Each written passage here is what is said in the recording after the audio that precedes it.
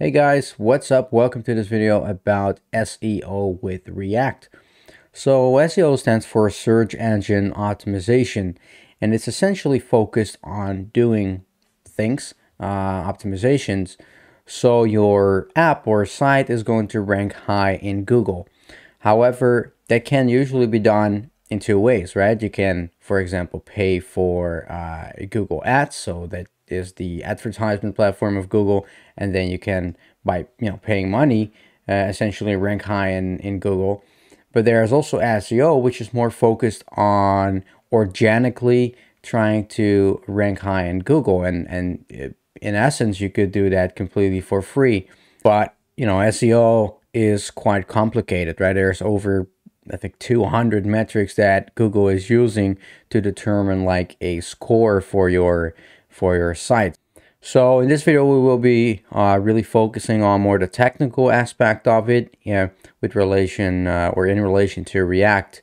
So for a lot of people, the concerns with React are is that they are not sure if Google can actually crawl a uh, page in your single page application. And I can tell you straight away that uh, Google is actually able to crawl data from your uh, page. And if you don't know what crawling is, uh, Google kind of like has these scripts uh, that you know retrieve information from your site, which they then use in the Google search engine. Um, and uh, but because React apps are different, of course, because we're using pretty much a lot of JavaScript, it's not like your typical website where you have only like HTML files that are uh, being served to the client. So, but you know, Google can do that. So that's uh, that's great. Now, the other question a lot of people have is whether you can set meta tags, and the answer is yes. Here you can see an example. So what we can do with meta tags is that we can um, control how pages will be shown in the Google search engine. So let's say the title and the description for every search result, we can set that. Uh, and we can also do that for, for React apps. So we are going to use React Helmet Async for that. It's a library. But before we get into uh, uh, working with that library, let's actually start creating a very simple uh, app that has some routing in it, okay? So I will go to the app.tsx file. And what I will do, I will actually start by installing React Router DOM. So I will say npm install React Router DOM. And since we're using TypeScript, I also want the add types slash React Router DOM. So I'll get back to you once that's installed. Cool, so now that's installed, I will just import some uh, functions from React Router DOM. So I will say import from React Router DOM. And then I want to have browser router as router. And I want to have route. Okay. And then right here, I will have my router. And let's say we have two routes. So we have one route and it says exact path is login. That will render the component login. It's not there yet, but we will um, we will import it, or actually, it would be like this login, and we'll have a shop page. So this will be shop. So I will just quickly um, make those two components. I'll just put them right here in a folder called pages. And I'll say login login and we want to have another page. Uh, let's take a look. Shop. That was it. Shop. So save that as well. And now we'll import both of these components.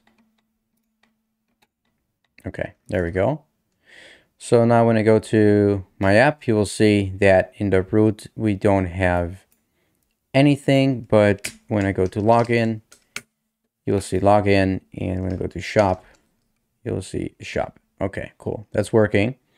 So now I'd like to ask you to install the Meta SEO extension for Chrome. There, there are a couple, couple of ones out there that are quite similar. Uh, I have this one right here. It's called Meta SEO Inspector. You can just find it by saying as uh, Meta SEO Inspector. And it's this Chrome extension right here. So once you've got that installed, if you then go to the uh, back to your React app and you go to your plugins, uh, you will see that right now this uh, is is kind of like catching some metadata that's on our page, and you will say that the title of the page is React app and the description is says website created using create React app. And this is coming from the index.html file. So as you can see right here, um, here we have a meta tag that actually has that description in there. And right down below here, you'll see it also has that title tag. And you will see that this is the same for the login page, right? It's the exact same meta. It has the like the exact same meta title and, uh, and description. And you can imagine that this is not optimal if we want to have our site indexed in Google because that will mean that this description and title is used for every page, right? So for, I'll just do a random search, but that would mean that if we um, are like in Google, and like every page in our site is going to show um, React app and right here that description that said, uh, what did it say? Uh, website created using create React app. So that's why we're now going to uh, actually change the meta tags for the individual pages.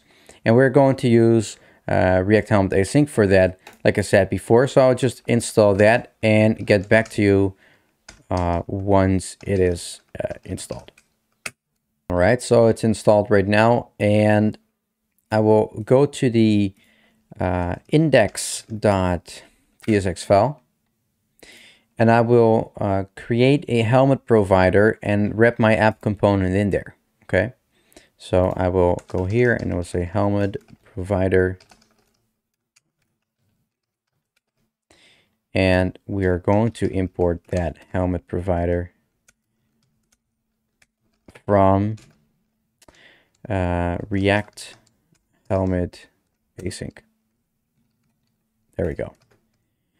The next thing we want to do is to add data dash RH is true to the index.html file, uh, to the meta tag. So we'll go to the index.html file and right here where we have the meta tag uh, with the name description, I will add that data dash RH equals to true. And I'll save that as well. And now we can configure a helmet component on each individual page. So let's say I go to the shop page right here. I can now, instead of just returning shop, I'll actually say, I will wrap it in a p tag, by the way, called shop. And now I can import helmet. And I will also import that from React Helmet Async. So we'll have helmet from React Helmet Async. There we go. And what the helmet components allows us to do is to set the um, you know a specific set of header properties. So what I can say right here, I could say that I want to have the title set to shop. And I can add a meta tag uh, and let's say it's name. So we're going to do the description. Uh, so the name is description and the content is, let's say, uh, shop our latest products now. Latest. There we go. Okay. So now when I save this and I go back to the React app, and I will navigate to shop. You will see that when I go to Meta SEO Inspector, it now says that the title of the page is uh, shop and the description says shop our latest products now. And if I go back to login, you will see because we didn't set a helmet for that component, it is now using that default uh, meta tag that is in our that lives in our index.html file. So now we've been able to customize it. Now I think it's always a good practice to also set. Uh, you, you can see the um, extension is already saying it is that a uh, canonical URL is missing. So in order to prevent that, you can say link, and the relation will be canonical and the href will simply be the route of your page. So this will be shop. So now I'm going to save it and I go back to the shop page. And now you can see that error um, has cleared up. And now you see it says localhost, but when we would push this app to production, it will actually uh, use your, uh, your domain. So now we have this working. Uh, the next thing I'd like to get into is the robots.txt file. And this is actually provided by default with Create React app. You can see right here we have the robots.txt file, which lives in your public folder. And in your robots.txt file, you are able to tell crawlers, like the Google crawlers, to not crawl your page. Um, so Currently, because this allow is, you could say empty, Google will crawl all your pages, but you can also say slash, and that will mean that you will disallow all pages to not be crawled. Okay, so let's say we have an app and we don't want the login page to be crawled. We can simply say disallow login. And maybe if we have some other page, maybe like uh, like a secret page, you can say like slash secret, right? So this is um, what you can do in the robots.txt file. Uh, I will remove it because I want Google to actually crawl uh, all the pages on my site. Now it's good to know that um, not allowing Google to crawl your site is not a guarantee that it will not show up in the search results. Uh, if you want to prevent that, you can use a meta tag uh, with the no index uh, property. So what you could do, let's say we want the uh, shop page not to be indexed, you can add another meta tag and that will then have, as you can see right here, name, robots, content, no index. But like I said before, I want actually my pages to be both crawled and indexed in the Google search results. So I'll leave that out for now. So let's hop on to the next part. And that's actually allowing Google to crawl our sitemap.txt file, which is currently not um, existing yet. And in order to do this, I first need to deploy my site. And before I do that, um, I'd like to let you know that we actually forget to also add the helmet component on the login page. So let's do that first. So I can just copy and paste this. Uh, say login right here. And we also have to import helmet right there. And now, of course, I need to change this. So this will be have a title called login. Ahref will be login as well. And then right here, login to, I don't know, view your account, something like that. Cool. So I will save that. And yeah, to get back to uh, the deployment, if you want to know how to do that, you can check out my video on deployment. It's called Deployment CI/CD. Um, but yeah, I'm going to do that right now and see you in a minute.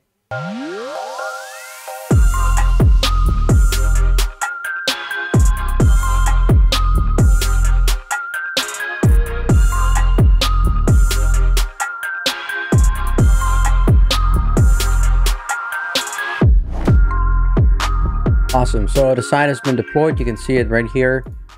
And when I navigate to shop, it should show the shop page. Awesome, so that's working. Uh, the next thing we want to do is to create a sitemap.txt file in the public folder.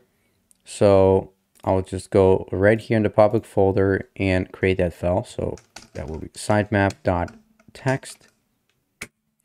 And in here, we are simply going to pass the, uh, the URLs that uh, our site kind of like contains. Okay, so we have the first of all, we have like the root, okay? Then we have the login page, and then we have the shop page. Now, you can imagine as your application starts to grow, uh, this might become quite burdensome to maintain. And uh, there are tools out there that allow you to automatically generate a sitemap based on your uh, your router. But uh, I have to say, most of those libraries are not very well maintained, and it, they also don't have like uh, like a lot of downloads.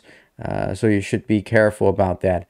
But on the other hand, if your app, you know, if, if SEO is a concern for your app, and it grows to the size where you know maintaining a sitemap.txt file becomes burdensome, you might want to look into tools like uh, Next.js, for example. Okay, Next.js uh, is, is is great, especially for for those kind of purposes. And I think um, that your app probably would then benefit from using Next.js. So if you don't know or haven't heard about Next.js before, we are using a tool chain uh, called Create React App. And there's other tool chains out there, uh, including like Gatsby and Next.js and some others. And Next.js is is well, it's it's like a like a super hybrid. You can do like server side rendering, static side generation, client side rendering. So client side rendering is actually what we're doing with Create React App. Um, so you can do a lot with Next.js. Uh, so you know if your app grows to you know that kind of size, you might want to consider using Next.js instead of Create React App. Um, by the way, I might you know, I'm thinking about maybe releasing a Next.js course, so let me know if you'd like to uh, see me making one. Um, but enough about Next.js. Um, we have our sitemap file. So now we can go to the Google Search Console and add a meta tag that uh, that will be given by uh, by Google. So I'll just go there. And now you can see that we can add either a domain or a URL. I will just pass in my URL right here, the one I got from Netlify. And now it's going to do a verification. And you can either download a HTML file uh, or HTML tag. Well, I think the tag is a easy solution. So I will copy that tag and I will go to the index.html file and let's take a look. And we can just put it let's say down below here. Okay so this is our tag we got from google. I will save it and then now we'll push these changes so i will cause netlify to build my site again and get back to you once that's done. All right so the site has been redeployed and i will click on verify and this will verify and now you'll see that uh, we we got this property. So now when i click right here you get to the dashboard itself, you can see the um, site is now like my personal property, so to speak. And what we can do is we can now add the sitemap. And what might be interesting to take a look at is now if I copy the URL of my site and say slash sitemap.txt, you will see that we actually get that file we created. And this is also what we're going to send to Google. So right here, Google asked me to um, give the URL of the sitemap. So that will just be sitemap.txt. I will send it and now you will see Google was able to find the sitemap and found the URL. So it might take a, a bit of time before uh, this actually uh, uh, will show up in the Google search results. Um, if you go right here above sitemaps, I think it will say coverage in English it will give you some uh, details about the pages that have been crawled and you can also track for example uh, uh like the uh, the SEO ranking of the individual pages and so on. So uh, there's a lot to explore. Of course there's a lot more to SEO but I think um, like from a technical perspective this is a way you can um, you can make it work with with create react app. So thanks for watching and I'll see you in the next one